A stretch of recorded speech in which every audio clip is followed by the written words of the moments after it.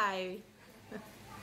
Welcome to Collet's Kitchen. Today we're going to be doing a bread pudding. So let's head on over to the kitchen and see how it's done. Please remember to share, like, subscribe, and leave a comment below. Thank you. Alright, so we have our bread here. Preferably, they always say stale bread, but I have done already with a fresh loaf of bread because I wanted to make the bread pudding. I could better wait for the bread get stale.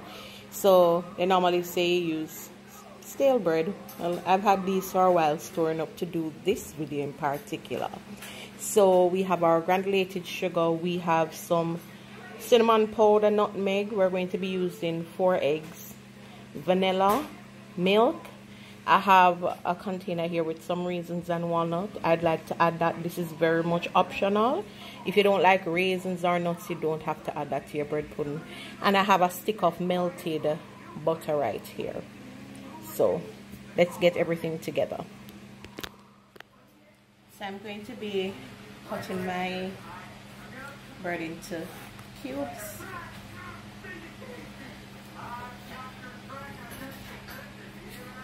Cutting them on a on a my tablecloth. If you have your cutting board for your braids.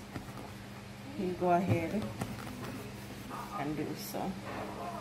I say I put them in cubes. I don't start putting them body in cubes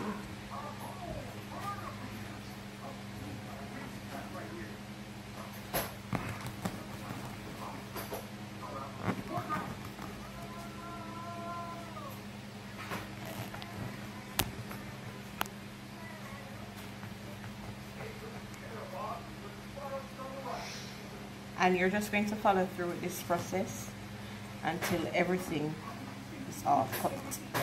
All right so we have gone ahead with our four eggs. We have cracked them. We're placing them in this container here. And then now we are going to add four cups of milk. Okay ensure that you have your measuring cup now this is going to make a good amount of uh, mixture for our bread pudding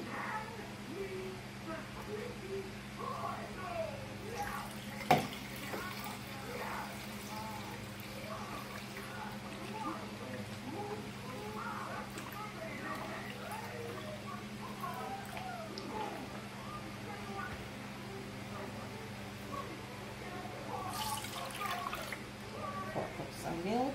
That's just three. Go ahead. Add another cup. Remember I told you already we had our melted butter. One stick of melted butter, we're adding that to our mixture also. And then now we're going to go ahead and add a quarter a quarter cup the bean cheese uh, off. What's a bit more? A quarter cup of sugar. Granulated sugar. For the mixture.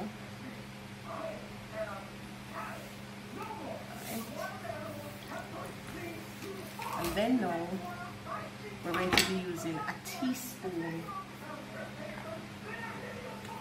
one teaspoon of nutmeg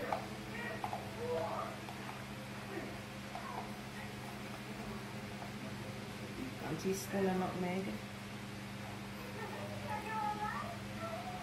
So we're using half teaspoon each. Half teaspoon of cinnamon powder, half teaspoon of nutmeg.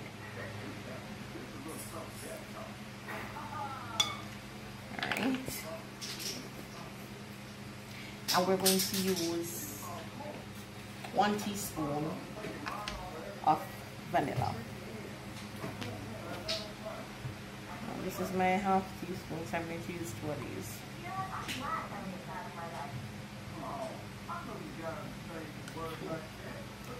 Then we're going to whisk this mixture together. We're going to whisk this together. Eggs. Yes, LJ? Yes, I'm mixing, mixing, mixing. Okay. So we're going to ensure that we beat the eggs all of this mixture together it smells really good so we are going to add our wet ingredients to the bread. So we keep whisking until everything is nice and blended so here we have our bread this is in a large container. So we're just going to pour our mixture over it. The aim is for it to be completely saturated.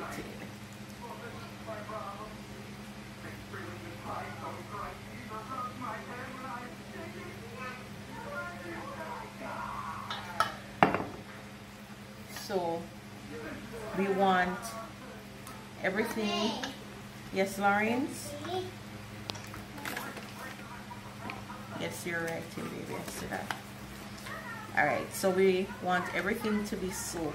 So we're going I'm going to leave it here for about next 20 minutes. Mommy, yes, food? Okay, you want to come here? Yeah. Come around. Bubble, sugar. Mommy, Show them what you're writing. bubble, salad. Okay, alright. So we're going to leave this here for about half an hour, 20 minutes there about. By that time, all of this liquid that you see now, you shall see no more. So I have my container here. I'm going to get the mixture in. I'm going to do it somewhat of like a layer. Because remember, I'm yet to add my little goodies that I showed you. The raisin and the nuts. Alright.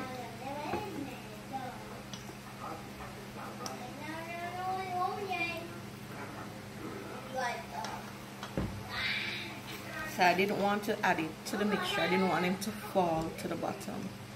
So I'm just including them in the middle. And I'm going to have some at the top also. So I'm just continuing with the process.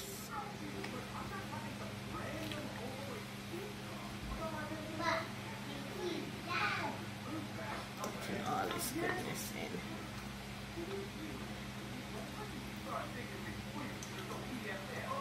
Sometimes you have some persons who set the bread a particular way. For me, I just want to say it bake and taste good. You understand me?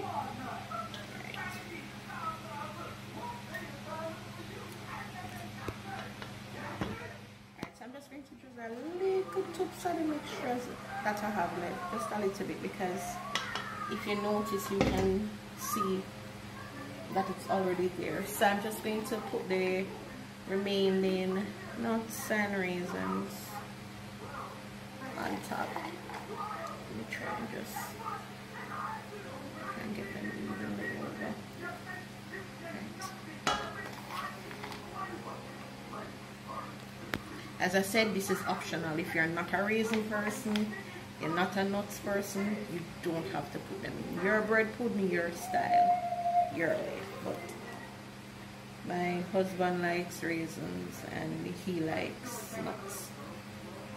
So we're going to put it in the oven for the next 40 to 45 minutes, 350 degrees Fahrenheit.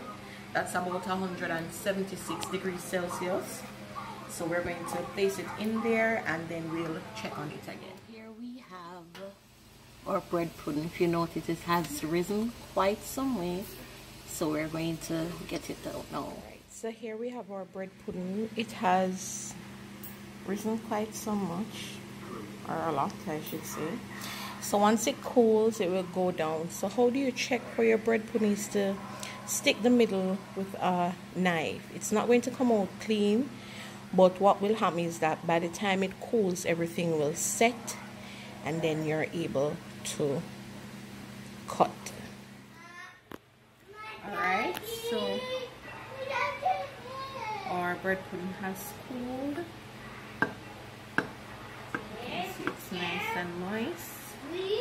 I just want to get a little piece to show you guys. So here we have our bread pudding all done nice moist and ready to eat.